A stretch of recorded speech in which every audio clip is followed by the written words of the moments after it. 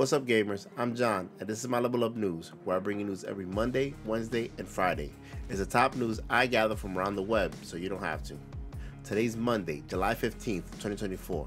On today's Level Up News, we talk about the Elden Ring Bloodborne mod, the first Descendant descending in ratings, Amazon Prime Day free games, and more. Let's get you leveled up with today's news. Baldur's Gate 3 dominated the last two years of Game Awards shows, winning numerous accolades including Best Game at the 2024 BAFTA Awards. However, Larian Studios CEO revealed that the extensive award ceremonies have disrupted development, promoting the studio to send out rotating teams to these events. Despite the challenges, Larian values the recognition but hopes for a more streamlined award season. The CEO also noted the emotional toll of continuous public attention delaying closure for the team. Looking ahead, Larian is focusing on new projects, including one codenamed Excalibur, while trying to move beyond constant discussions of Baldur's Gate 3. The First Descendant has faced criticism for its similarities to other looter shooters like Destiny 2 and Warframe, particularly regarding icon designs. Nexon, the game's developer, acknowledged the inspiration from Destiny 2 and announced changes to the icons to maintain the game's unique identity. This decision followed Forbes writer Paul Tassi's social media post highlighting the similarities. Despite these issues, the First Descendant quickly gained popularity, reaching 10 million players within a week of its July 2nd launch, though it has initially faced server issues that have been resolved. The massive Bloodborne inspired Elden Ring mod, Graceborne, is now compatible with the Shadow of the Erdtree expansion, allowing players to explore the Realm of Shadows with a Bloodborne style overhaul.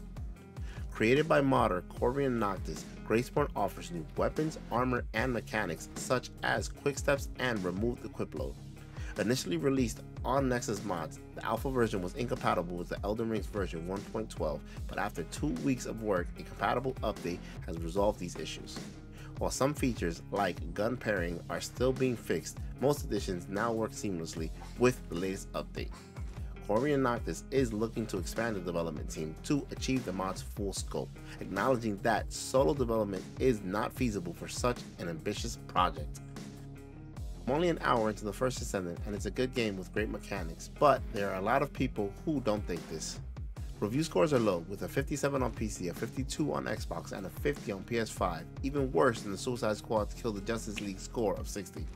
Despite this, the First Descendant has a strong player base, peaking short of 265,000 players on Steam.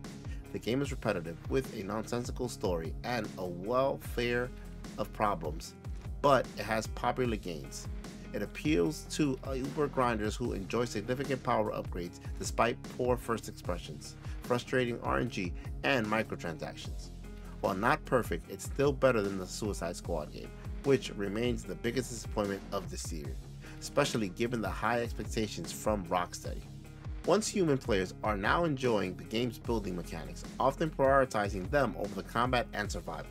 A July 10th thread titled Anyone Else Just Loving the Building almost forgot to actually play the game, gained attention with a screenshot of a beautiful two story riverside house. This inspired others to share their builds, including an impressive structure spanning a river with a bridge using flight mode for vertical construction. Some players, like one who is still at level 16, spend extensive time building instead of leveling up. Concerns about losing builds due to the game's wipe systems were addressed by mentioning the House Blueprints mechanic, which allows players to save and rebuild their structures. To maximize building space, players can unlock the territory expansion mechanic under the building tree skill. Despite the game's focus on the looter shooter, its deep building mechanics provide a rich experience beyond just slaying enemies. Sony's upcoming hero shooter Concord had its first public showing over the weekend, with early access beta available to select players before an open beta later this week. The first person shooter received positive reactions despite stiff competition, Overwatch senior animator praised its distinct characters and fast and kinetic combat, while Insomniac lead engine programmer complimented the character change animations.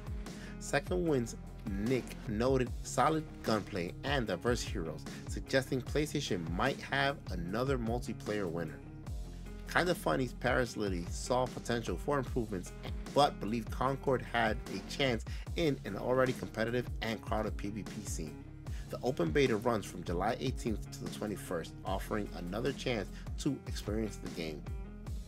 Princess Zelda is the main protagonist in The Legend of Zelda Echoes of Wisdom, marking a first for the mainline series. The ESRB rating reveals that Link will be available also, noting that players will control Zelda to dispel reefs and rescue Link.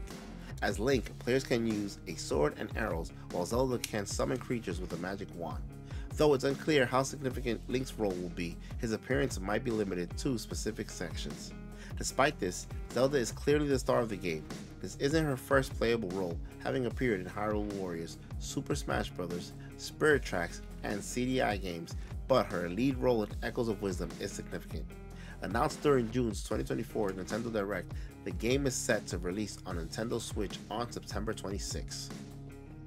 Arc System Works has announced Double Dragon Revive, a new game in the Double Dragon series of beat 'em ups, set for release next year.